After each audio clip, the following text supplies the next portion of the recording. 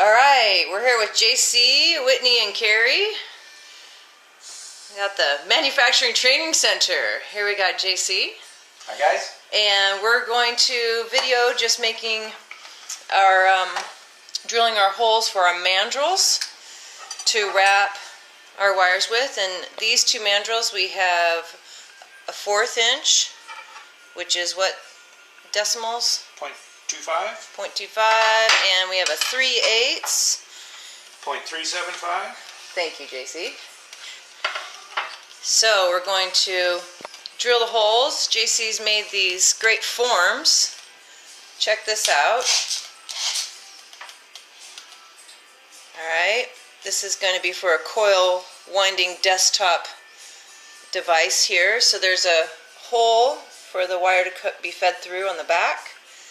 And very important to see that there's a raised screw right in the middle, and that's you're going to wrap your wire around. That will come clear when you see it happening. Alright, I'll just use that as space because I don't mind if that gets chewed up. So you've chosen these two mandrels for 18 gauge wire. What do you suggest for the 14 gauge? Um, you want a 5 32 inch difference. I use uh, I use a little bit less than that. I use 3 eighths and 6 millimeter because 6 millimeter is slightly smaller than a quarter of an inch. But your 16 gauge wire is a 1 16th of an inch, so you double that, you get an eighth. If your mandrels are an eighth of an inch difference, they're, they're not going to slide together well.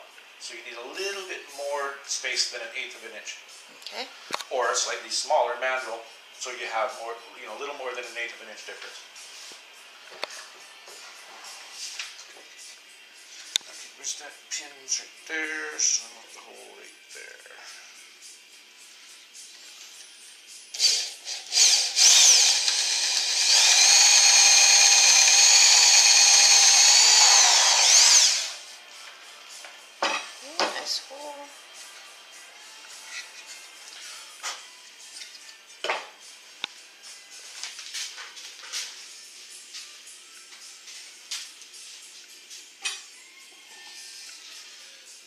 Sure that's going to work. It's a little bit tight. Just a little bit tight.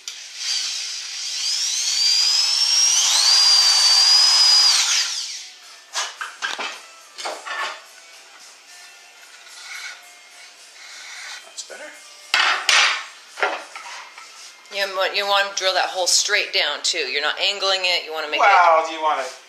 I'm trying to be nice. Yeah. To be as you know, make it look nice, and and that way, if you have to put another one in, it's easy.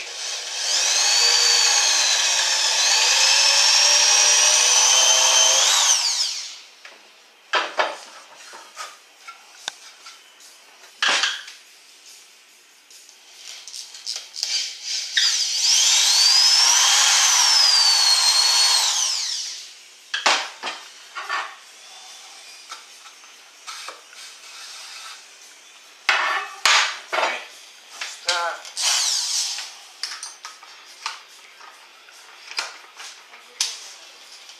Okay, so we're going for the smaller bar now.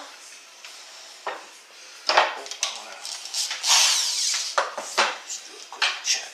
Make sure that's close enough. Yeah.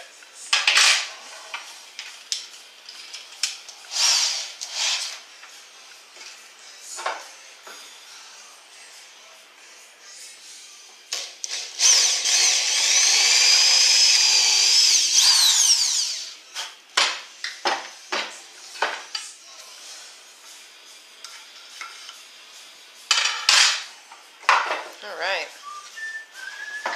So we're doing up two of these. These we're going to bring with us as we go teach workshops, thanks to JC. And then we'll have uh, some clamps here. Clamp them down onto a table. That's going to be no problem. That's right. Okay. Well, when you're working with pine, if you're building these, uh, try to make them out of the, the hardest wood you can get, oak, uh, ash, something. Don't use pine. I use pine on these because that's all I had. But it's not. They're not going to last very long. You want the hardest wood you can get your hands on uh, for this plate. Okay, so that's that. Ready to go? Okay, then you can take a little, um, what is that called? A, Needle file. a needle file and just kind of round out those holes so they're nice and smooth. Yeah. Yeah, it just makes them a little more reliable, last a little longer. And it opens the hole up because it was 3 8 drill, 3 8 mandrel. That doesn't really work. You need a little bit of clearance in there. So you want to, you want it a little bit sloppy. Not very much though. There, those are done. Okay, what JC is doing here is he is using a, a file to to smooth out this bar because you don't want it to be um, damage your coil. So Yeah, nicks, nicks on the bar will make it difficult to get the coils off and they'll scratch them. So take care of your tools. You want them as smooth and clean as possible. a lot of times also when you cut these bars at the end, you'll get a big burr at the end and then it'll be hard to take your coil off. So use the nice smooth end. If you're going to cut your bars in half, use a file and file that end nice and Yeah. smooth on the bottom. Okay. All right. Straighten the end of the wire out nice. Now, as Whitney showed, there's a hole in here. This is to guide the wire when you're making your coil. So total, total control of the wire. Now, I've done this a number of times. There's a number of videos on it. This is the simplest way that I know how to do this. And as you take the wire, you bend the end about a half an inch at 90 degrees. Get your mandrel ready. Then it goes under the screw and oh, not quite enough. There we go. Into the drill chuck. Now for this style, you want to make sure that your drill is running in reverse.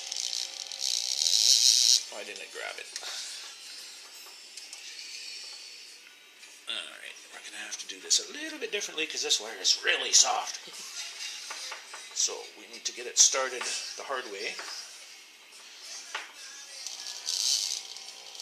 Yeah, sorry you can't see this, but I gotta keep control of the wire. There we go. That should be enough. Now you probably want to be like over here. Mm-hmm. If you can flip that screen and turn the camera on.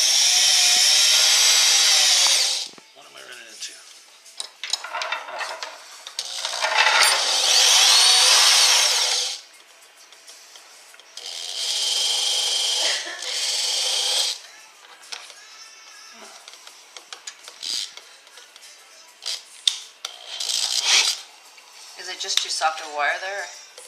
It's kind of. Yeah, I, I kind of went way too fast, but that's okay. No worries.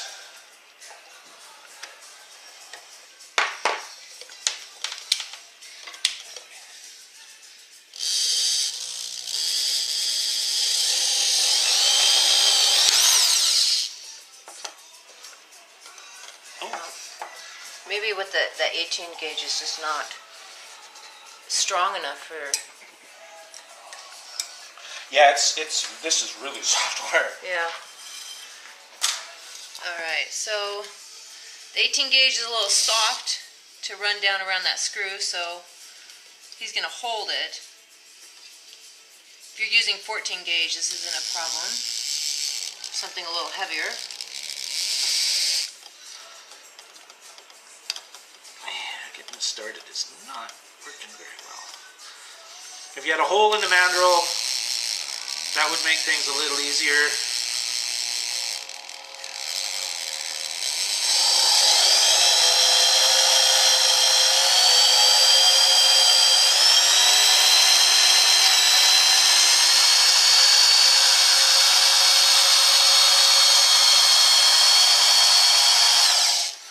don't let this come through and hit you in the thumb and cut your thumb off.